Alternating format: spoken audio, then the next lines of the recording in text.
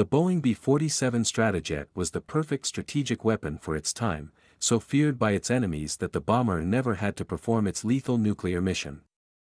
The Soviet leadership knew the B-47, swiftly deployed in ever greater numbers, gave the United States an unstoppable nuclear strike force. Sadly, the B-47 also suffered losses on a scale that would be utterly intolerable today. Over its lifetime, 203 aircraft, about 10% of the total procured, were lost in crashes, with 464 deaths. There were a number of reasons for this doleful toll. The Stratojet introduced a new flight performance regime requiring new skills and greater precision. It was a hybrid of World War II metallurgy, construction techniques, and aerodynamic theory that was sometimes inadequate for the new era of jet engines. From its very first flight, USAF tried to maximize the B-47's effectiveness with ever greater demands for performance, flexibility, and mobility. Perhaps most important, the bomber debuted at a time when Strategic Air Command was undergoing an explosive expansion in size that diluted standardization efforts and the effectiveness of training and safety procedures.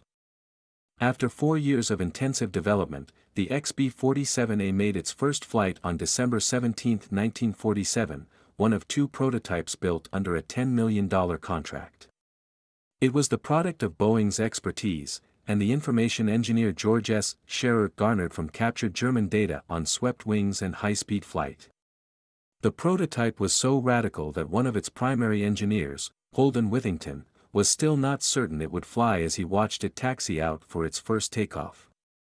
The XB-47 featured slender, shoulder-mounted swept wings.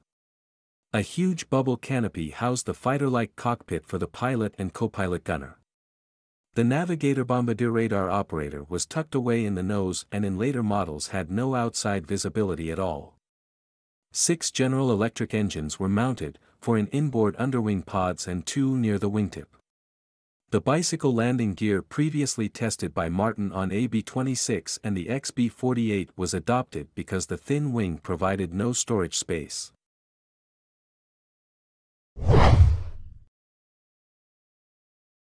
The selection of the ultra-thin wing created both structural and aerodynamic problems. It had to be built with great strength to withstand huge deflections, as much as 17 feet in flight.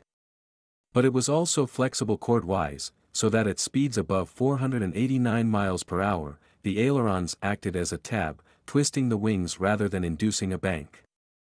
At 525 miles per hour, the ailerons were totally ineffective, and the control wheel could not budge from side to side. Ironically, during B-47 development, the Boeing engineers discovered a thin wing was not absolutely necessary and designed the B-52 with huge thick wings and ample fuel storage. Flying the aircraft at approach and landing speeds was demanding because the engines were so slow to accelerate. A drogue parachute was used to allow approach and landings to be made with the engine still carrying enough power to enable rapid throttle movement. After landing, a 32-foot brake parachute and an anti-skid brake stopped the aircraft.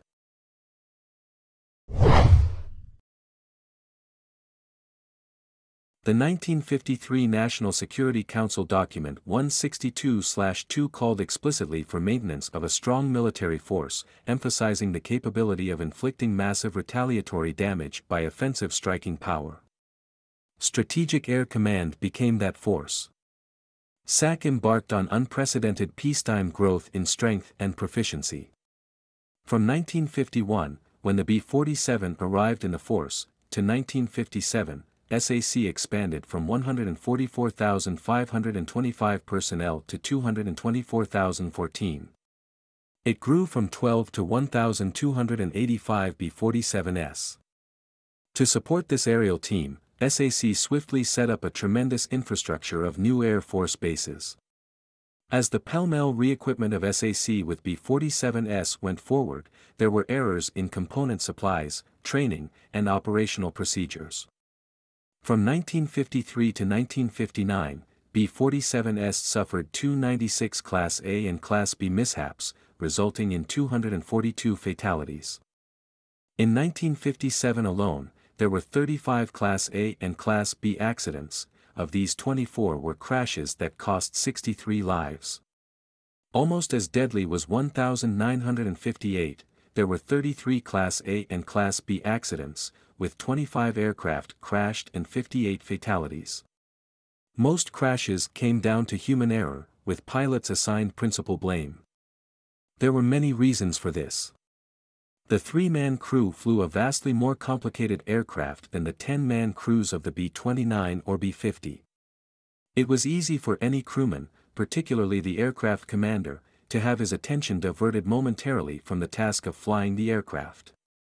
Most importantly, missions sometimes ran 24 hours. Crew coordination was essential, and could be easily disrupted when an emergency occurred. Yet attention to flight control was absolutely critical at all times. The extremely clean lines of the B-47 enabled its performance and problems. A pilot concentrating on a new situation might let his attention wander for a few seconds and find himself banking in a dive that pushed his speed to a point where recovery was impossible. This proved to be a frequent scenario during instrument flight. The B-47 required much closer attention than the previous aircraft to pre-flight planning, fuel distribution, trim settings, and airspeed control. It was deceptively easy to fly, but the extremely precise operation was required during takeoff, in-flight refueling, instrument flight and landing.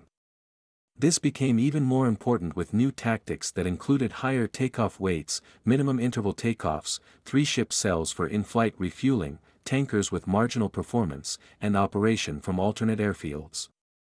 These new requirements increased demands on the relatively new B-47 and its crews.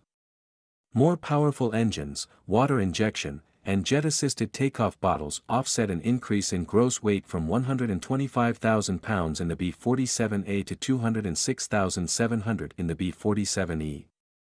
But, these combined increased the strain on wings and fuselage.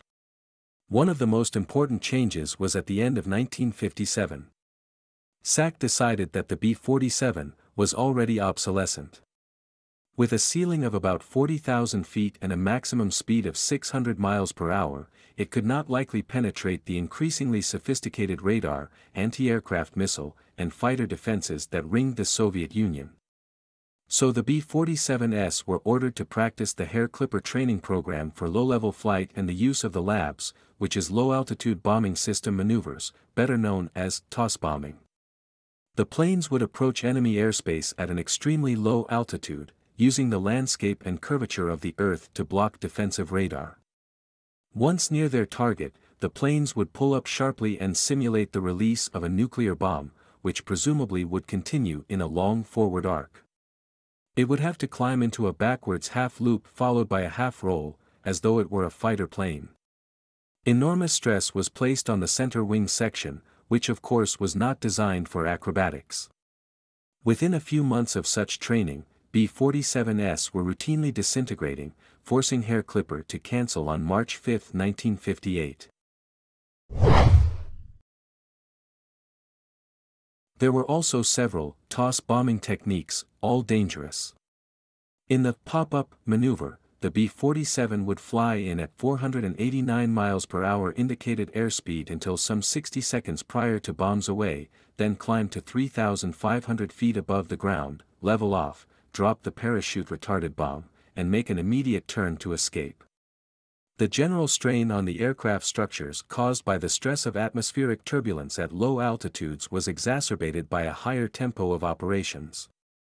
This required more frequent refueling missions and increased numbers of takeoffs and landings.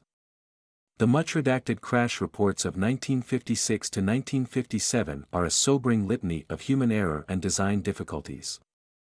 Some of the accidents were inexplicable.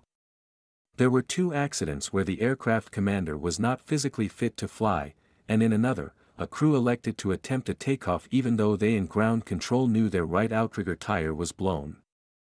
Many of the accidents occurred on takeoff, all with a similar pattern.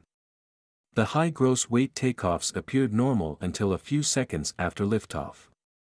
Then a wing dipped, struck the runway, and the aircraft crashed and burned. Analysis revealed a loss of power that induced yaw. When this happened, the B-47 entered a stall, and a crash was unavoidable. Takeoff crashes also resulted from incorrect pre-flight planning. In one instance, the aircraft commander failed to include the weight of 2,200 gallons of external fuel in his calculations, rotated too soon, stalled, and crashed. In another, the crew set the elevator trim incorrectly because it used an outdated manual.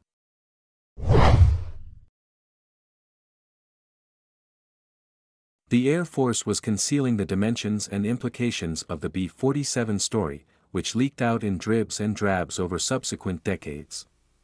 In fact, planes were being lost as early as 1951. The first officially acknowledged Midair explosion came in 1952.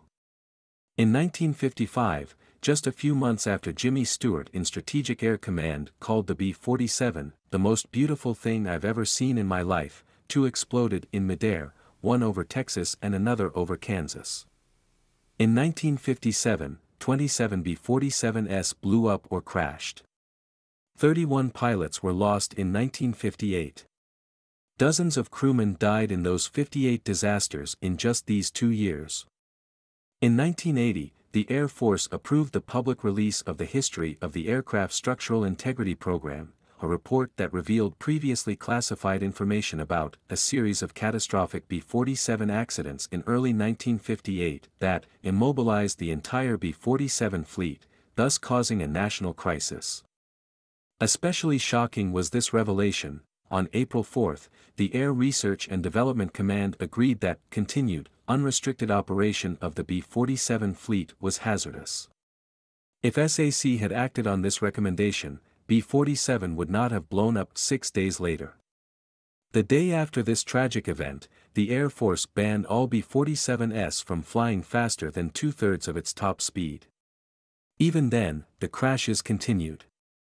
On April 25, 10 days after the flight restrictions were imposed, another B-47 exploded in flight. Instead of grounding all B-47s, the Air Force ordered all of the planes that had not been inspected for cracks to fly no faster than half their top speed and imposed additional strict restrictions. Besides, things could have been worse. Although the Air Force has always been reluctant to acknowledge the presence of nuclear weapons in accidents, we now know that between 1956 and 1958, thermonuclear weapons were jettisoned, destroyed, or lost in at least eight separate incidents of B-47s. In some cases, the high explosive charges designed to initiate critical mass detonated, spreading radiation or causing injuries on the ground. For a time, the B-47's high performance and diligent crews provided the United States with an overwhelming strategic advantage, but the experience was sobering. SAC learned from it. It vastly improved training and flying safety procedures, and the B-52 Stratofortress quickly became the Air Force's principal nuclear bomber. In a sense, B-47 laid a solid foundation for the later successful B-52 Stratofortress. This is all for today's video. If you like our content, drop a like below, subscribe to our channel, and see you in the next episode.